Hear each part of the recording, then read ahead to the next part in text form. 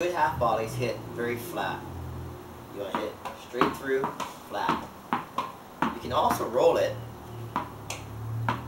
but it slows it down. You can also chip it. It's really up to you.